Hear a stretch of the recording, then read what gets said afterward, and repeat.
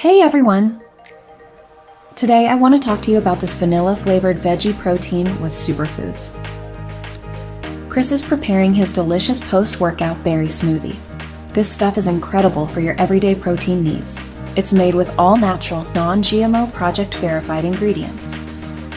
The Pro Veggie Blend is packed with goodness, like pea protein, brown rice protein, and superfoods like flax seed, sunflower seed, and chia seeds.